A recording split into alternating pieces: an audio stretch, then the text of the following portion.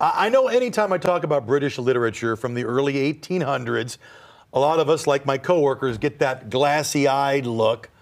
I mean, Ken, come on now. I, the incomparable Jane Austen, Katie. What? Jane Austen, she wrote some of the finest novels in the English language, from Pride and Prejudice to Sense and Sensibility.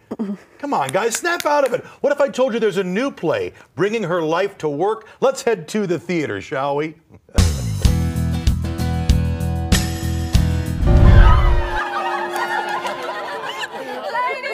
Gentlemen, may I present for the very first time Mr. and Mrs. Weston? It's Emma on stage right now at Denver Center's Wolf Theater. I saw it Friday night. Folks, this ain't your grandma's Jane Austen. Of course, the novel was always sort of a rom com. Emma sees herself as a matchmaker, but bumbles her way through a series of miscommunications.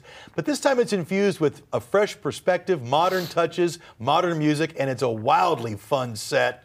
And the director goes deeper, this time really exploring what it's like to be a smart, well educated woman who isn't allowed to do anything with her intelligence. I love the humor, I love the heart. It is not for everybody.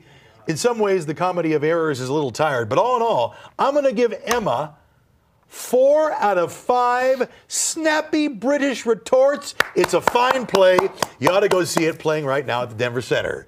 There. Now is British literature a little more interesting to you? Nope. Go see the play. You'll change your mind. Trust me, Travis. It's a good one.